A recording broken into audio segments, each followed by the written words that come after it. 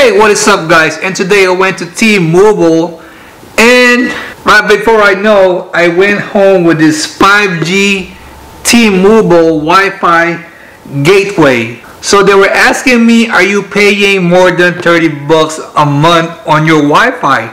And I say, yes. Okay, are you? Um, they asked me if I want to try their product, the Wi-Fi 5G gateway Alright, so I want you, you know, guys to know before you take this home with you, you know, you can make a decision right now. Alright, take it from my experience. So, this is a $30 a month. This is super easy to install. Alright, so in my case, I got three cameras, two TVs, we got Xbox, we got tons of gadget. So what I noticed was um, I downloaded, I tested out, you know, how much the upload and download. As you can see, see the download is only 28 and the upload, which is not bad, 32. Uh, what I noticed was when I was watching downstairs, down, when I was watching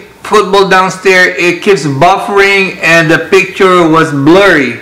So I, so I was thinking this T-Mobile internet 5G gateway cannot handle okay? Cannot handle 4K or I, I just probably got too much gadgets at home?